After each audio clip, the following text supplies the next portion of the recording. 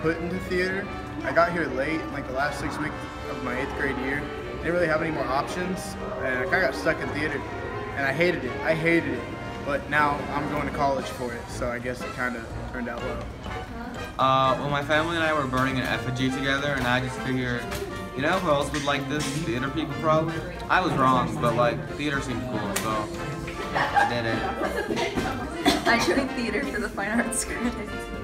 I joined theater because it was like the technical part got me. You know, I didn't have to like go in front of the stage. Because my mom thought it was cheaper than therapy. Why should people join theater? Because it is a fun place to be. It is a place where people create families that they wouldn't uh, otherwise have in the school. Um, athletes always have their buds to hang out with, but theater people can be just as weird as they want to be, and they can always find a place in theater.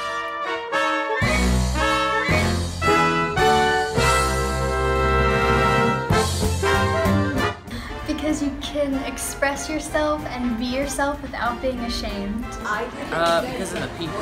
Because of the people I met and because of all the stuff I learned. And I realized that um, it's taken over my life and I'm now basically stuck with it whether I like it or not. So yeah, that's why I stay in the theater.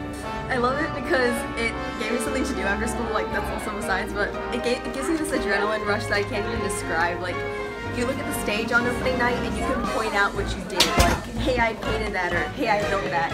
And there's a sensation that you get where you're just so proud of yourself and of everybody around you that all the work that you did and all the time that you spent in the past month on this is finally coming together on stage right before your eyes. And it blows my mind and makes me so happy to think that I played a crucial role in something bigger than myself. Why do I love theater so much? Like, what do I love most about theater? I feel like it's not that I love theaters. I love screws. Well, besides the burning effigies, I really enjoy the people, and um, God, I, I can't even say that. No, um, that's a lie. I enjoy. God, this would be life crisis. Am I right?